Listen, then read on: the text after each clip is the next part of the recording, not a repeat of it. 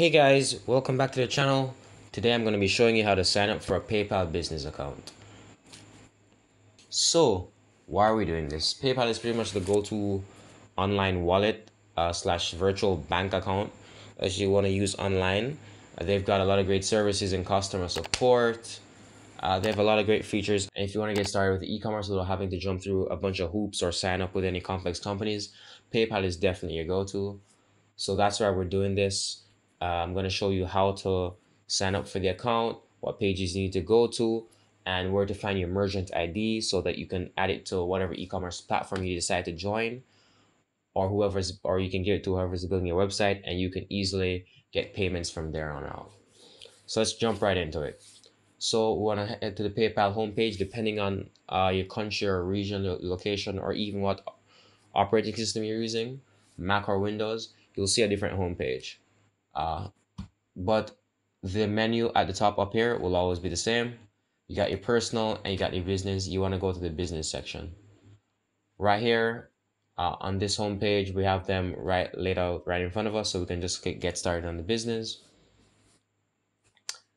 Uh, it, it just took me from the Jamaican page to the US page, uh, but we do have the sign up option. What I want to do, I want to go up here if you, depending on the country you want to enter your country up country code up here. So i'm going to put back jm there's nothing there for jm but don't worry about it. We can get around it and i'll show you why. Just in a bit. We can hit sign up.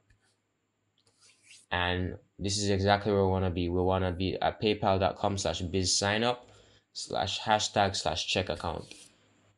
All right. Let's see. I should be able to put in the jm here Great. Great. So let me type in the email address. Let's use our fake character Malia at fleeksite.com. Let's type in a really good password. Let's call her Malia. Let's call her Malia May. Two M's. And what business does she own? Malia's pottery. She's a bit of an artist.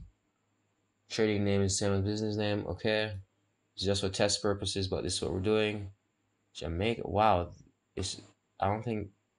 Yeah, none of these flags are right, but let's ignore that for a second. Seven six. And uh, let's go to uh 811 81111 is it? Yeah there we go. Uh what are we going to put in our address line? We want to put one orange avenue. We can skip that. Let's just put kingston and kingston here and the reason you want to ensure you put your country code here depending on what country in there's going to be different fields which you'll need to fill out. And if some of the fields aren't correct or matching with that country then you won't be able to sign up. So that's what you want why you want to put your country code up here. So it gives you the proper options. And we want to put uh we, it's the us dollar is the world currency. We're just going to leave it at that. They don't have jamaican currency in here very limited selection but we want to use us so you uh, by clicking agree and continue, I agree to the user agreement and conditions. So we're just gonna hit that. Great. Describe your business type. She's a individual sole proprietor. Product or service keywords. She does pottery.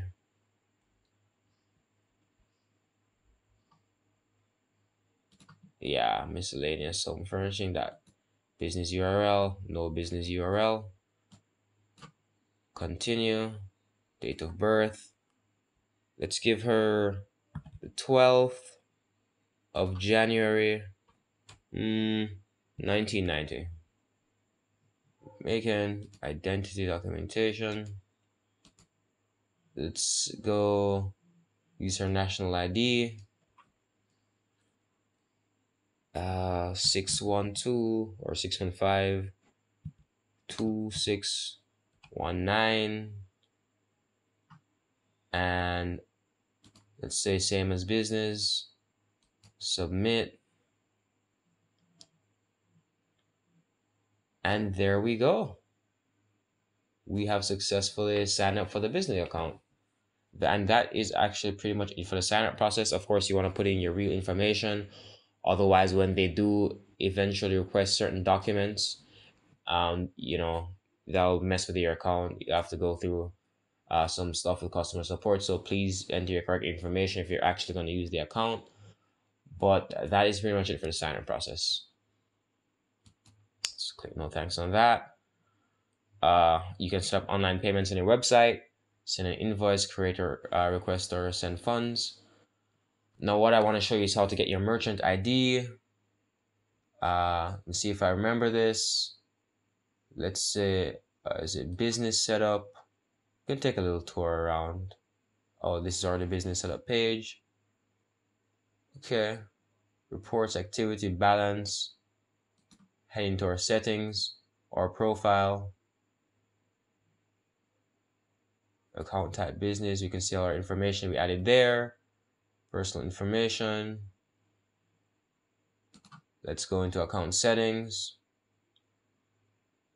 And yeah this would be where to find our business or business information and the merchant key. If we go into business information we see our merchant key and this is what we would want to provide to our or developers or the e-commerce platform we're joining or or to our website main, maintainers. This is what we want to provide to them so that they can uh, integrate our paypal account into our websites or service and this would allow us to get uh, paid from different sources straight to our PayPal without any extra work. And that is pretty much it. What you want to do, you pretty much want to fill out the rest of the information here, make sure everything's everything looks good, and that is that is all, guys.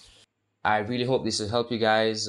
Thanks for watching. Uh, if you need need any more information, let me know in the comments down below.